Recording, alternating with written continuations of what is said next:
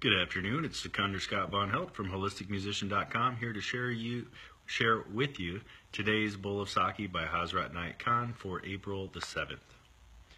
It is being dead to self that is the recognition of God. It is being dead to self that is the recognition of God. So, what does it mean to be dead to self?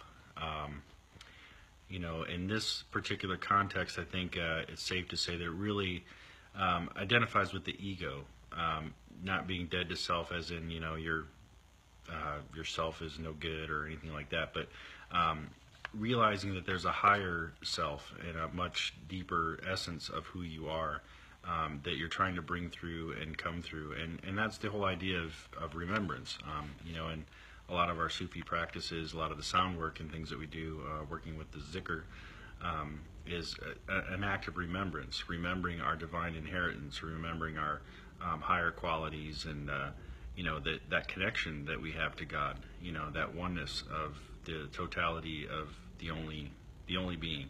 Um, so it's being kind of dead to the self is being you know letting go of that um, false notion of what we are or clinging to the little self or the little ideal. And I was just talking about this a few minutes ago about um, like with relation to my music. You know, I've always been um, defined by my music or defined by being a musician or defined by how I do music and things of that nature.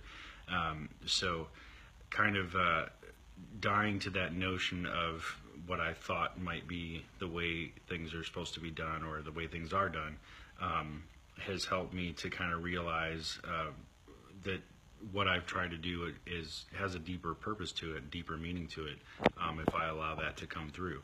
So um, it's not being dead to being a musician or being dead to you know doing music, but um, being dead to the idea of you have to do these 20 steps in a row to get to this point when it's just important to just play and just um, be what you are and to let that flow and come through naturally and let it let it carry you wherever it's going to go. So um, that was something that was you know already on my mind. So it kind of came through uh, when I read this.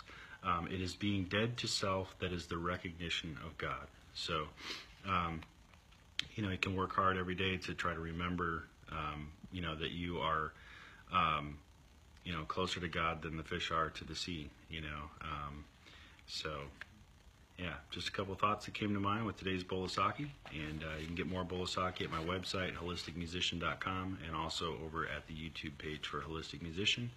Um, if you dig these videos, hit the old like button, uh, share, subscribe over at YouTube, and all that good stuff. Uh, it helps to spread the word. So appreciate everybody's support and for uh, checking these out. And I'll be back again tomorrow with another episode. All right.